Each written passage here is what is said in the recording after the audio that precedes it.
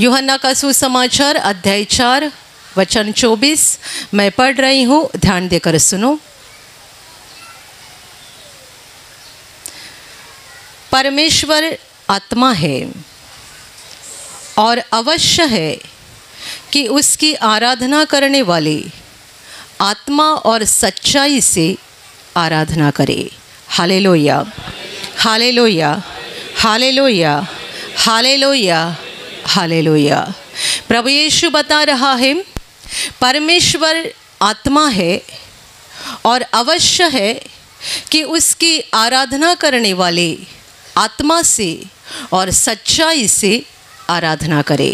Hallelujah hallelujah hallelujah hallelujah परमेश्वर आत्मा है, इसका मतलब यह है कि उसे मनुष्य की तरह कोई शारीरिक स्वरूप नहीं है।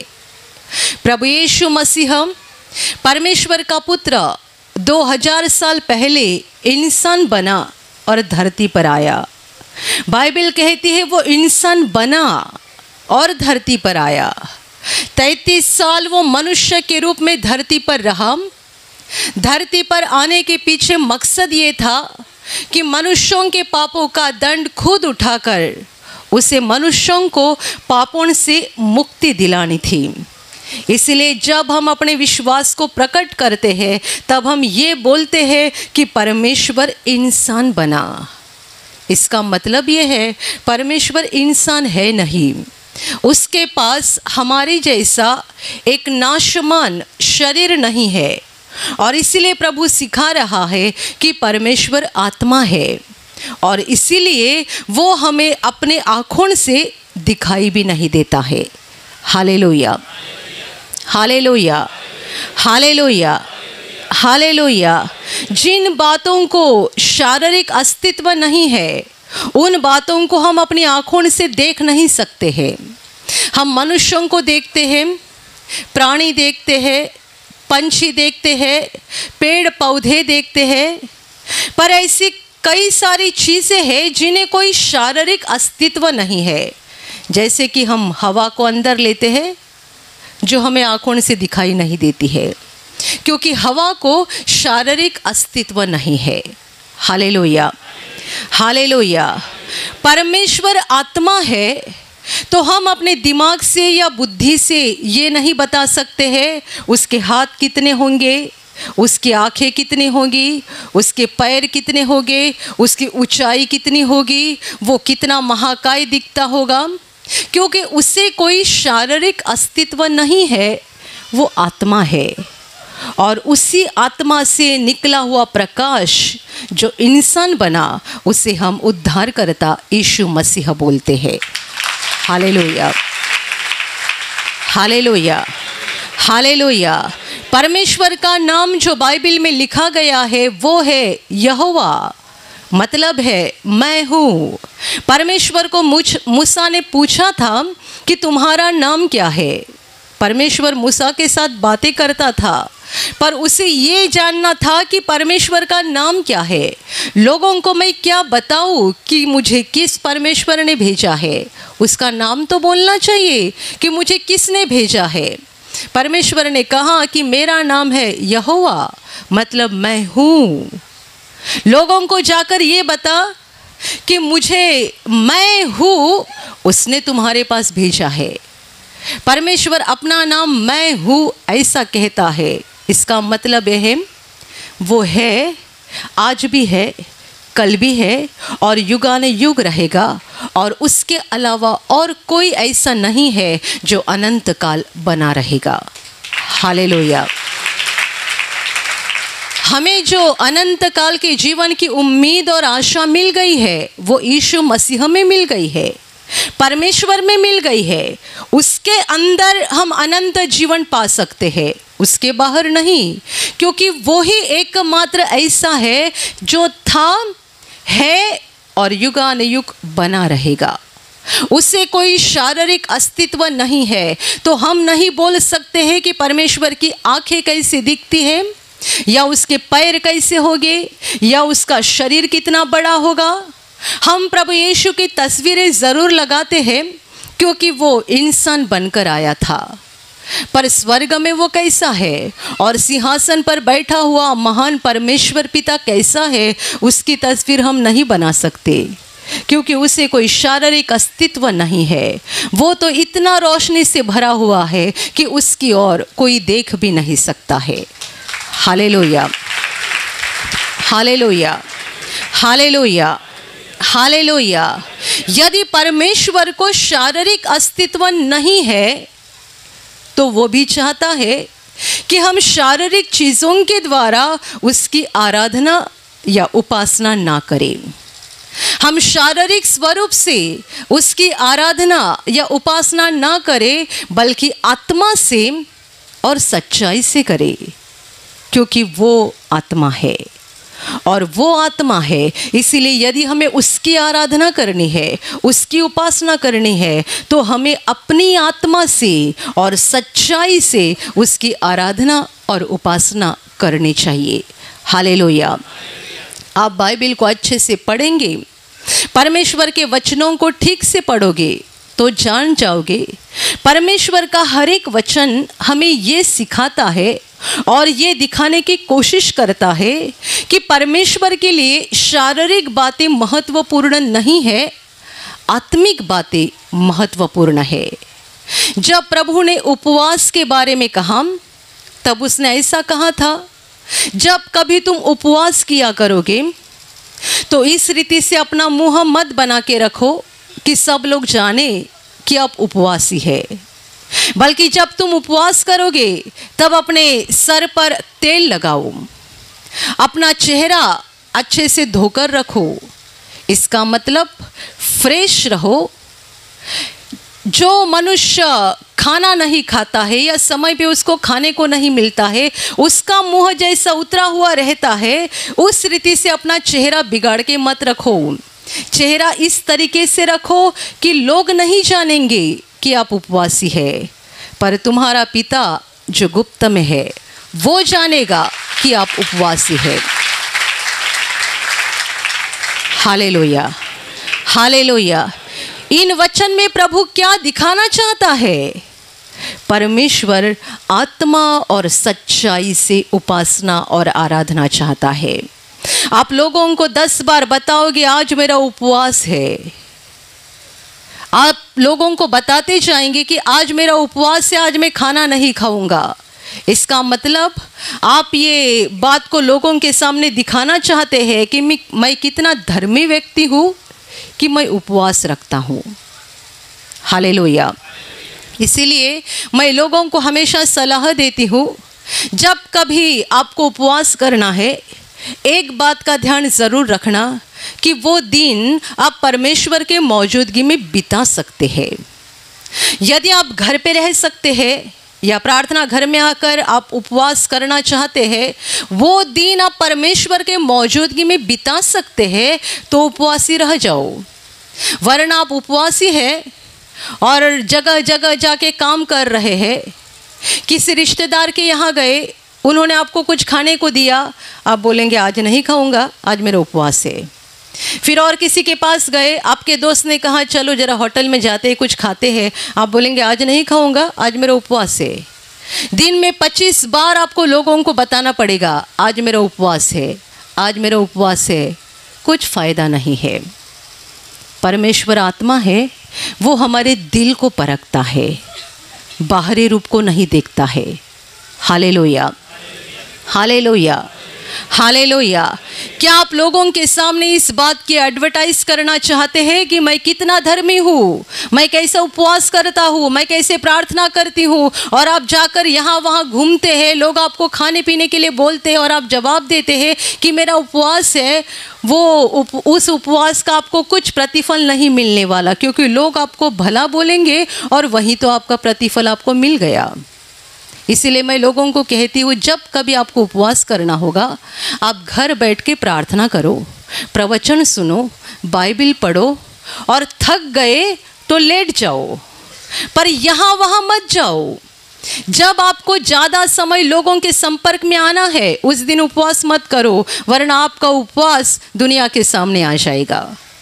हाले लोहिया हाले दूसरी बात प्रभु ने यह भी बताई है कि जब तू दान दिया करेगा, ऐसे गुप्त रीति से दान देने के लिए प्रभु ने कहा है कि जब तू दान देगा, तब तेरा दहिना हाथ जो दे रहा है, वो बाएँ हाथ को पता तक नहीं चलना चाहिए। क्या ये मुमकिन है कि हमारा दहिना हाथ क्या कर रहा है? ये बाएँ हाथ को पता नहीं चलेगा। एक ही शरीर के दो अंग है। तो दहिना हाथ जो कर रहा है, वो बाएँ हाथ को पता नहीं चलेगा। ऐसा कैसा हो सकता है? पर इतनी कड़क बात बताकर प्रभु ये दिखाना चाहता है कि तुम्हारा दान देना भी ऐसा गुप्त होना चाहिए कि तुम लोगों को दिखाने के लिए नहीं, बल्कि परमेश्वर को दिखाने के लिए दान देना चाहिए। हाले लोया हाले लोया क्योंकि लोग ऐसे होते हैं जो दान देते हैं और दस लोगों को बताते भी है, ये मैंने दिया है। क्यों? लोग मुझे भला कहे। एक बार एक भाई ने अपने केंद्र में एक बड़ा टीवी दान किया था। पच्चीस तीस हज़ार का कुछ टीवी था। केंद्र में वो टीवी लगाया गया और वो अपने प्रार्थना के वॉलेंटियर्स को पूछ रहे थे, कैसा लग रहा है टीवी? मैंने दान दिया है। कैसा लग रहा है ना? अच्छा दिख रहा है ना? मैंने दान किया है।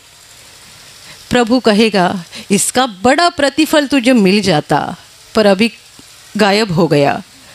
क्योंकि लोगों ने, भला कहा ना तुझे, भला आदमी है, पच्चीस हज़ार का टीवी दान दे दिया, भला आदमी है। उसका दान कचरा बन गया। क्योंकि लोगों ने उसे भला कहा तो परमेश्वर की ओर से कोई प्रतिफल नहीं मिलेगा। वो दिल को परखने वाला परमेश्वर है। जो भी करोगे, दिल से करो, बाहरी बातों से, शारीरिक रूप से, लोगों को दिखाने के लिए मत करो। कई कई लोग प्रार्थना भी इसीलिए करते हैं कि लोग देखें हम कितने धर्मी है। कुछ कुछ लोगों को बड़ी बड़ी प्रार्थना करने की आदत होती है। चिल्ला चिल्ला कर बहुत सारी बातें बोलते, ये, वो वो। एक एक घंटा उनकी प्रार्थना खत्म नहीं होती है। हाले लोहिया हाले लोहिया हालेलुया। मतलब वो क्या दिखाना चाहते हैं? हम इतनी लंबी प्रार्थना कर रहे हैं, इसका मतलब हम परमेश्वर से कितने जुड़े हुए हैं? इतनी इतनी लंबी प्रार्थना कर रहे इसका मतलब हमारा परमेश्वर के साथ रिश्ता कितना अच्छा है और हम कितने धर्मी व्यक्ति हैं, ऐसा वो लोगों को दिखाना चाहते हैं। पर परमेश्वर तो आत्मा है। वो हमारे बाहरी रूप को देखकर और बाहरी बर्ताव को देखकर और इन सारी बातों के द्वारा प्रसन्न नहीं होता है, क्योंकि वो आत्मा है तो वो हमारे आत्मा को परखता है, जांचता है और परमेश्वर चाहता है कि उसकी आराधना करने वाले, उसकी उपासना करने वाले आत्मा से और सच्चाई से उसकी आराधना और उपासना करे। हाले लोहिया हाले लोहिया हालेलुया। परमेश्वर को शारीरिक अस्तित्व नहीं है तो हम ये नहीं बोल सकते हैं कि इसी जगह परमेश्वर मौजूद है या यहीं पे मौजूद है। मैंने आपको कभी नहीं सिखाया है कि इसी प्रार्थना घर में परमेश्वर मौजूद है, और कहीं नहीं। क्या मैंने आपको ऐसी गलत शिक्षा कभी दी है? इसके विपरीत मैं लोगों को ये सिखाती हूँ, आप जहाँ कहीं होंगे, वहाँ दिल से उसको पुकारो। परमेश्वर आकर आपकी मदद करेगा। ये वचन प्रभु ने तब कहा, जब प्रभु एक सामरी औरत के साथ बातें कर रहा था। और ये औरत प्रभु से ये बोल रही थी कि हमारे बाप दादों ने इस पहाड़ पर परमेश्वर की उपासना की। और आप लोग बोलते हैं कि जहाँ उपासना होनी चाहिए, वह जगह तो यरूशलेम में है। उस औरत का सवाल था कि मेरे बाप दादों ने इस पहाड़ के ऊपर परमेश्वर की आराधना की है और आपके यहूदी लोग बोला करते हैं कि जहाँ परमेश्वर की आराधना और उपासना होनी चाहिए, ये जगह तो यरूशलेम में है मतलब वहाँ जाकर परमेश्वर की आराधना करनी चाहिए। इस बात को समझाते हुए परमेश्वर ने उसको ये वचन कहा, परमेश्वर आत्मा है। और उसकी आराधना करने वालों ने आत्मा से और सच्चाई से आराधना करनी चाहिए। इसका मतलब कोई पहाड़ पर ही परमेश्वर मौजूद है, या बस यरूशलेम में ही मौजूद है, या बस एक मंदिर में मौजूद है, या एक प्रार्थना घर में मौजूद है, ऐसा नहीं है। जहाँ कहीं लोग उसे आत्मा से पुकारते हैं, दिल से उसको खोजते हैं, आत्मा से और सच्चाई से उसको पुकार लगाते हैं। वहाँ वहाँ परमेश्वर उनकी पुकार को सुनता है। इसीलिए हमें यरूशलेम जाकर आराधना करने की ज़रूरत नहीं है, या किसी नियुक्त किए हुए पहाड़ पर जाकर आराधना करने की ज़रूरत नहीं है, क्योंकि परमेश्वर आत्मा है, उसे कोई शारीरिक रूप नहीं है। तो किसी एक मंदिर में, या एक पहाड़ पर, या एक गाँव में, या एक जगह पर वो मौजूद नहीं है। वो वहाँ मौजूद होता है, जहाँ उस पर सच्चाई से प्रेम करने वाले लोग मौजूद होते हैं। हालेलुया हालेलुया हालेलुया हालेलुया इसलिए मैं लोगों को कहती हूँ, आप घर में हो या ट्रेन से, बस से सफ़र कर रहे हैं, रास्ते से पैदल चल रहे हैं, या आप अपने कंपनी में है, ऑफ़िस में है, जहाँ कहीं आप होंगे, आप दिल से उसको पुकारो। जहाँ से आप पुकारेंगे, परमेश्वर आपकी मदद करेगा। वो आपकी पुकार को सुनेगा, क्योंकि परमेश्वर आत्मा है। उसे कोई शारीरिक अस्तित्व नहीं है। तो ये मत बोलो कि इस पहाड़ पर वो है, या इस गाँव में है, या इस शहर में है। जहाँ जहाँ लोग आत्मा से, सच्चाई से उसकी उपासना करते हैं आराधना करते हैं। वहाँ वहाँ लोग उनकी, परमेश्वर उनकी पुकार को सुनता है, परमेश्वर उनको जवाब देता है और उनके लिए अद्भुत काम करता है। यीशु कहता है, ये परमेश्वर की इच्छा है। वो चाहता है कि उसकी आराधना करने वाले, उपासना करने वाले सच्चाई से और आत्मा से करे। हाले लोहिया हाले लोहिया हाले लोहिया हालेलुया। कितने सारे लोग ढोंगी की तरह, यानी कपटी मनुष्य की तरह परमेश्वर की आराधना करना चाहते हैं। पर आप जानते हैं, वो दिल को परखने वाला परमेश्वर है। वो हमारे दिल को जांचता है, देखता है। कितने सारे लोग यहाँ आते हैं, प्रार्थना करते हैं, प्रभु, किसी ने मेरे इतने पैसे लिए हैं, इतने साल हो गए, वो मेरे पैसे लौटा नहीं रहा है। कुछ तो अनुग्रह कर और वो मेरे पैसे लौटा दे। प्रार्थना ख़त्म होती है। इनके फ़ोन पे रिंग बजती है। सामने से फ़ोन आता है उसी व्यक्ति का, जिसने कितने महीनों से या सालों से इनके पैसे नहीं दिए थे। वो व्यक्ति सामने से बात करता है, मैंने तुम्हारा चेक बना के रेडी रखा है, कल आकर चेक लेकर जाओ। यहाँ उसने प्रार्थना की, अपने मन में प्रार्थना की, किसी ने नहीं सुनाई। उसके आसपास कौन है, किसी ने नहीं सुनाई। हमें यहाँ से सुनाई नहीं दी, और यदि हमने सुना भी तो हम क्या कर सकते हैं? हम आपकी तरह साधारण मनुष्य है। हम आपको मुक्ति का रास्ता दिखाते हैं, चंगाई पाने का रास्ता दिखाते हैं, आशीषों का रास्ता दिखाते हैं। पर रास्ते पर चलकर मुक्ति को, आशीषों को, शांति को पाना ये आपका काम है। हम किसी को मुक्ति नहीं दे सकते, किसी को शांति नहीं दे सकते, किसी के जीवन में कोई अद्भुत काम नहीं कर सकते हैं। ये भाई ने मन में कहा, प्रभु, ऐसे ऐसे फलाना व्यक्ति ने मेरे इतने पैसे लिए हैं, कितने महीने हो गए वो मेरे पैसे वापस नहीं लौटा रहा है। कुछ तो दया कर कि वो मेरे पैसे वापस कर दे। और प्रार्थना खत्म होने के बाद फ़ोन आता है और और वह व्यक्ति इनके पैसे लौटा देता है। मतलब इसने अपनी आत्मा में प्रार्थना की, परमेश्वर ने उसकी प्रार्थना को सुना। मनुष्यों ने नहीं, परमेश्वर ने सुन लिया उसकी प्रार्थना को। कितनी बार ऐसा हुआ है, कई लोग जगह जगह नौकरी के लिए कोशिश करते हैं, बहुत प्रयास करते हैं महीने महीने तक नौकरी नहीं मिलती। प्रार्थना में आते हैं, विश्वास से मांगते हैं, घर चले जाते हैं। दूसरे ही दिन, कितने महीना पहले का इंटरव्यू दे के रखी थी, जहाँ से दोबारा कॉल नहीं आया था, वहाँ से कॉल आता है और बताया जाता है, काम पे आ जाओ। परमेश्वर आत्मा है और वो चाहता है कि उसकी आराधना करने वाले, उसकी उपासना करने वाले आत्मा और सच्चाई से उसकी आराधना करे।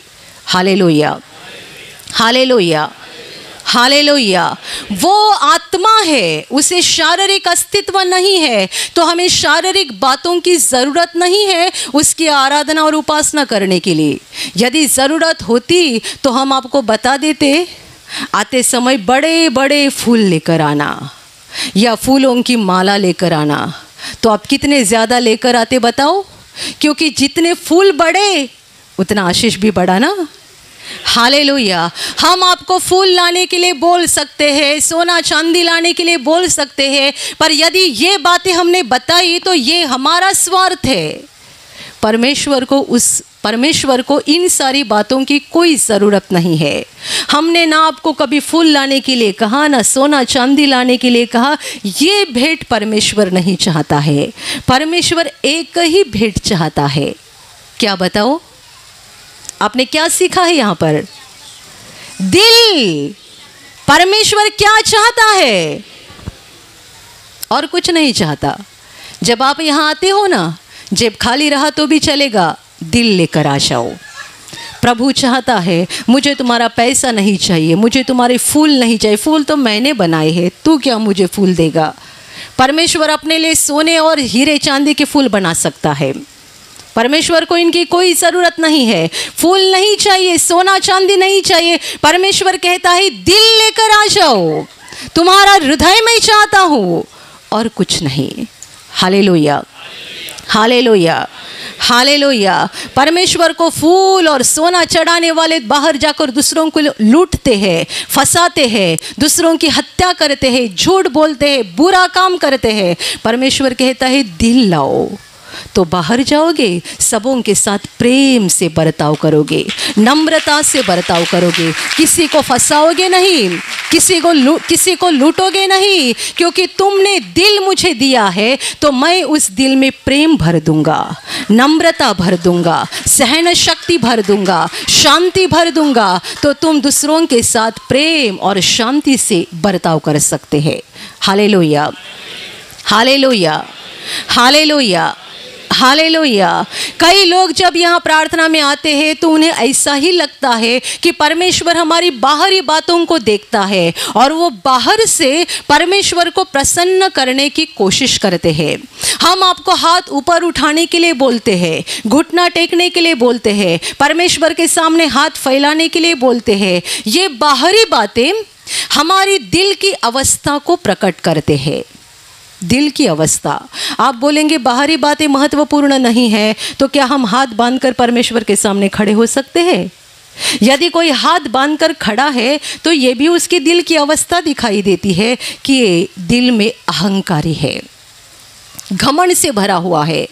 कोई मनुष्य प्रार्थना में खड़ा है और हाथ बांधकर खड़ा है और अपने सर को उठाकर यहाँ वहाँ देख रहा है, इसका मतलब ये परमेश्वर के सामने नम्र नहीं हुआ है, ये घमंड से भरा हुआ है। हम आपको इसीलिए हाथ जोड़ने के लिए बोलते हैं, हाथ उठाने के लिए बोलते हैं, हाथ फैलाने के लिए बोलते हैं, घुटना टेकने के लिए बोलते हैं कि हमें परमेश्वर के सामने नम्र होना चाहिए। ये बाहरी बातें हमारे दिल की अवस्था को, दिल की दशा को दिखाते हैं। पर सच्चाई में हमारे दिल में परमेश्वर के लिए विश्वास होना चाहिए। हमारी आत्मा में परमेश्वर के लिए विश्वास होना चाहिए और हम उसके लिए जो भी करेंगे, उसकी प्रार्थना हो, आराधना हो, उपासना हो, उसकी सेवा हो, जो भी करेंगे, आत्मा से होना चाहिए, सच्चाई से होना चाहिए।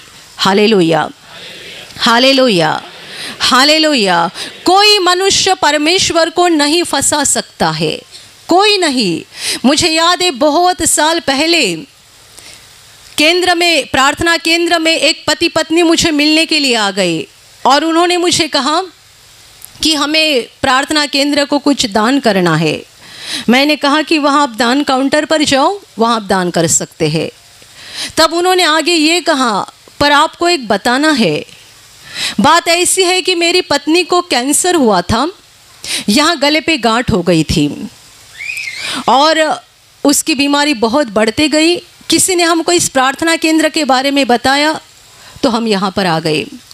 हमने विश्वास किया और ये उस औरत के पति बोलते हैं, मैंने प्रभु से कहा, यदि मेरी औरत ठीक हो जाएगी तो मैं इस केंद्र को दस हज़ार रुपये दान दे दूँगा। कुछ दिन के अंदर ही प्रार्थना के द्वारा परमेश्वर ने बड़ा अद्भुत काम कर दिया। मेरी औरत की गांठ निकल गई। उसकी सारी तकलीफ़ें निकल गई। हमने दोबारा जाँच कराया। डॉक्टर ने कहा, ये ठीक हो गई है। दस महीना बीत गया, पर हमने प्रभु को जो वादा दिया था, वो पूरा नहीं किया। क्योंकि मुझे लगा भी औरत ठीक तो हो गई है। अभी गाट गई, दोबारा थोड़ी ना आएगी। दस महीना हो गया, वादा पूरा नहीं किया। दस महीने के बाद उसी जगह दोबारा गाठ आ गई। और जब दोबारा गाठ आ गई, तब ये डर गए और वो मुझे बोल रहे थे हाँ अभी हमको डर लग रहा है, इसीलिए मैं दस हज़ार रुपया लेकर आया हूँ। इस पर मैं क्या जवाब दूँ? प्रभु ने तो उनको पहले ही सबक सिखाया। मैंने बस स्माइल किया, मैं हँसी और कहाँ, जाओ, वहाँ दान काउंटर पे दान दे दो। हाले लोहिया हाले लोहिया हाले लोहिया दस महीना पहले जब ये प्रार्थना में पहली बार आए, प्रभु को वादा किया कि मेरी औरत ठीक हो जाएगी, मैं दस हज़ार रुपया दान दे दूँगा। और औरत ठीक होने के बाद उसे लगा कि अभी क्या ज़रूरत है। गार्ड तो निकल गई, डॉक्टर ने भी कहा, ये ठीक हो गई है। तो दान दिया नहीं, और दस महीने के बाद दोबारा गांठ आ गई। आप जानते हैं, परमेश्वर ऐसा क्यों होने देता है? वो हमें टेढ़े रास्ते से सीधे रास्ते पर लाना चाहता है। वो दस हज़ार रुपये का भूखा नहीं है।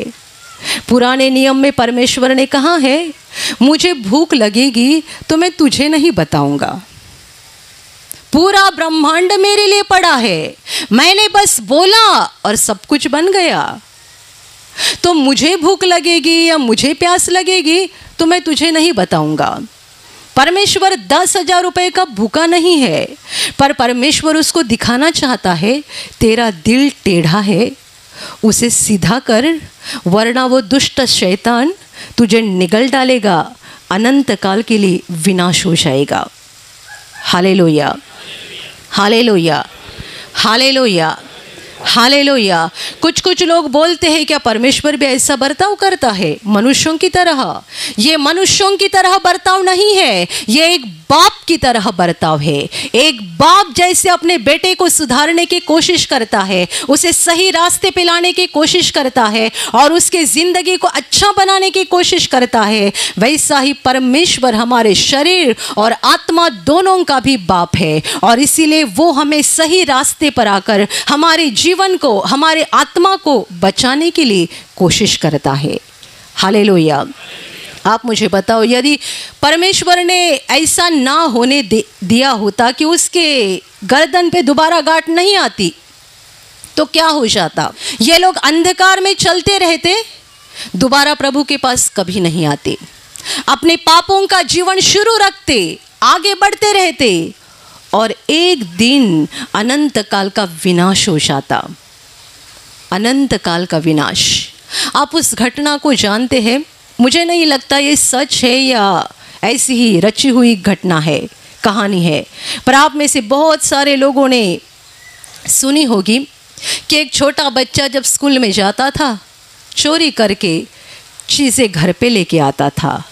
किसी की पेंसिल, किसी का रबर, किसी का पेन चुरा कर घर पे लेके आता था। माँ देखती थी, कभी उसको डांटती नहीं थी। और ऐसा करते करते एक दिन बड़ा चोर बन गया। और जब उसे फांसी की सज़ा हो गई, तब उसे अंतिम इच्छा पूछी गई। ये मनुष्य ने कहा, बस अपनी माँ से आखिरी बात करनी है। माँ को बुलाया गया। उसने माँ से कहा, जरा तुम्हारा कान नज़दीक ला, मुझे कुछ निजी बात, यानी प्राइवेट बात बतानी है। माँ ने अपना कान उसके मुँह के पास लिया तो उसने ज़ोर से चबा डाला। और उसने कहा, बचपन में जब मैं छोटी छोटी चोरी किया करता था, यदि तभी तूने मुझे डांटा होता और थप्पड़ लगाए होते तो आज मैं बड़ा चोरना बन जाता। और ये नौबत मेरे ऊपर ना आ जाती।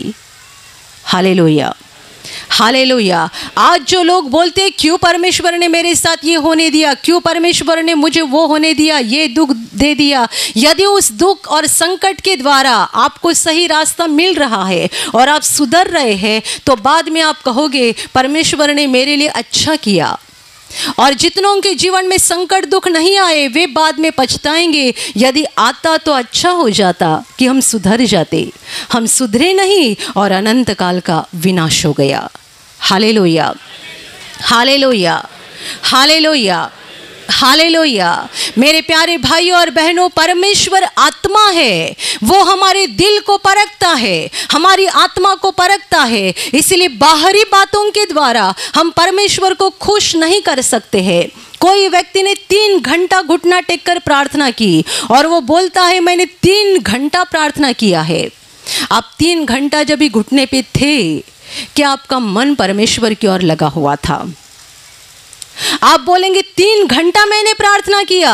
अच्छी बात है, घड़ी में तीन घंटे ज़रूर हो गए, पर तीन घंटे तक आपका दिल प्रभु की ओर था या कहीं भटक रहा था? कंपनी में किसी के साथ क्या बातचीत हो गई? बाज़ार में गए थे, वहाँ क्या बातचीत हो गई? पड़ोसी के साथ क्या हो गया? ये मन में घूम रहा है और बोलते हैं, मैंने तीन घंटा प्रार्थना किया। कुछ मतलब है? तीन घंटा आप घुटने पे रहोगे या प्रभु के सामने बैठे रहोगे, यानी प्रभु की तस्वीर रखी है, उसके सामने बैठे हैं, सामने बाइबिल भी रखा हुआ है, पर मन यहाँ वहाँ भटक रहा है। प्रभु, मन को परखने वाला परमेश्वर है, दिल को परखने वाला परमेश्वर है, और इसीलिए यीशु कहता है, अवश्य है कि उसकी आराधना करने वाले आत्मा और सच्चाई से उसकी आराधना करे। हाले लोहिया हाले लोहिया हाले लोहिया हाले लोहिया आप में से बहुत सारे लोगों के साथ ऐसा होता होगा कि जब आप प्रार्थना करने के लिए बैठते हैं, आपका दिमाग यहाँ वहाँ घूमता है और कई समय के बाद आप होश पे आते हैं कि मैं प्रार्थना में बैठी हूँ। ये क्या सोच रही हूँ? मैं प्रार्थना में बैठा हूँ। ये क्या चल रहा है मेरे दिमाग में? यदि आपके साथ ऐसा होता है ना तो सबसे पहली बात आपके लिए ज़रूरी है, मोबाइल और टीवी देखना बंद कर दो। दूसरी बात, लोगों के साथ व्यर्थ बातें बोलना बंद कर दो। क्योंकि ये सारी बातें हम अपने अंदर भरा के रखते हैं और जब प्रार्थना के लिए हम बैठते हैं, हम शांत रहते हैं ना तो भरी हुई बातें ही अंदर बोलना और गुंजना और घूमना शुरू होता है। यहाँ, वहाँ हमारे सारा, सारे विचार दौड़ते रहते हैं। थोड़े समय के बाद हम होश पे आते हैं और सोचते हैं, हम तो प्रार्थना में बैठे हैं। हाले लोहिया हाले लोहिया हाले लोहिया दुनिया के लिए अपने कान बंद कर दो।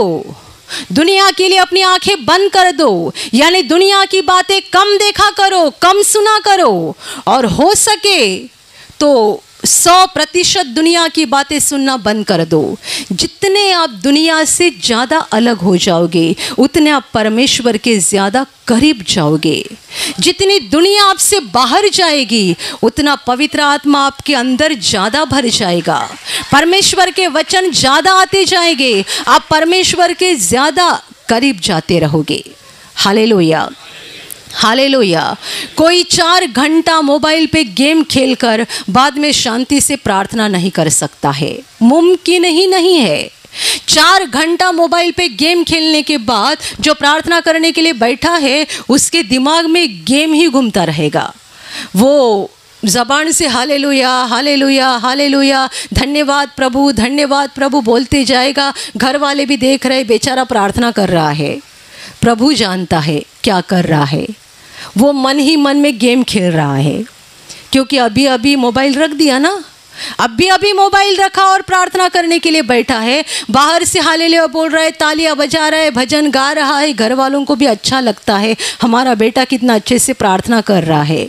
प्रभु कहता है, ये तो मेरे पास अभी आया ही नहीं है। बहुत दूर है। क्योंकि उसके दिमाग में गेम चल रहा है। हाले लोहिया हाले लोहिया हाले लोहिया पवित्रता से परमेश्वर की आराधना करो, आत्मा से और सच्चाई से उसकी आराधना करो, क्योंकि ये परमेश्वर की इच्छा है। परमेश्वर आत्मा है। ज़रूरी नहीं कि आपको किसी एक फलाना जगह जाकर या फलाना तस्वीर के सामने ही खड़े होकर आपको प्रार्थना करनी है, ऐसा नहीं है। प्रभु की तस्वीर आपके सामने नहीं है तो भी चलेगा। बिना तस्वीर आप प्रार्थना कर सकते हैं। प्रभु आत्मा है। आप दिल से पुकारो, वो आपके नज़दीक आएगा। वो आपकी आवाज़ को सुनेगा। हाले लोहिया हाले लोहिया हाले लोहिया हाले लोहिया मैंने कई लोगों को ऐसा बोलते हुए सुना है कि मुझे ही कुछ लोगों ने ऐसा बताया है कि सामने प्रभु की तस्वीर नहीं रहती है तो हमारा प्रार्थना में मन नहीं लगता है। सामने प्रभु की तस्वीर होना ज़रूरी बात है। बिल्कुल नहीं। प्रभु की तस्वीर हमें बस प्रभु की याद दिलाती है, पर सच्चाई में प्रभु आत्मा है। आपको आत्मा से उसको देखना है आत्मा में उसको महसूस करना है, बिना तस्वीर आप अच्छे से प्रार्थना कर सकते हैं, अच्छे से भजन गा सकते हैं, परमेश्वर के साथ जुड़ सकते हैं और आत्मा में परमेश्वर के साथ एक हो सकते हैं। हाले लोया हाले लोया परमेश्वर आत्मा है, आत्मा से और सच्चाई से उसकी आराधना करो, उसकी उपासना करो, ताकि वह आपके ऊपर प्रसन्न हो जाएगा, उसकी मौजूदगी आपके जीवन में बनी रहेगी और आपका जीवन पर परमेश्वर की रोशनी से और शांति से भरा रहेगा। हाले लोया हाले लोया हाले लोया और अभी प्रार्थना करने का समय है। आप विश्वास करो कि एक पल में प्रभु यीशु आपको छूकर चंगाई देगा। एक पल में वो आपके जीवन का दुख निकाल देगा और आपके आंसुओं को खुशी में बदल देगा। क्योंकि उसके लिए असंभव कुछ नहीं है। अनहोनी बात एक भी नहीं है। प्रभु यीशु आज भी ज़िंदा है। 2000 वर्ष पहले वो शरीर रूप में धरती पर था। आज शरीर रूप में नहीं, बल्कि आत्मा के रूप में है। और दुनिया के कोने कोने में जहाँ जहाँ लोग विश्वास के साथ उसको पुकारते हैं, उसके पास प्रार्थना करते हैं, उन सबों की पुकार को प्रभु सुनता है, उन्हें चंगा करता है, उनके आंसुओं को पहुँच देता है और उनके जीवन को खुशी से भर देता है। आप भी इसी विश्वास के साथ आपके बीमार भाग पर हाथ रखो, और यदि वहाँ हाथ नहीं रख सकते हैं तो अपने सीने पर हाथ रखो। प्रभु यीशु के नाम से इसी क्षण आपके शरीर की सारी बीमारियाँ निकल जाए। यीशु के नाम से आपके जीवन का सारा दुख निकल जाए। शैतान का हर एक काम आपके जीवन से और आपके परिवार से पूरी तरह से नष्ट हो जाए।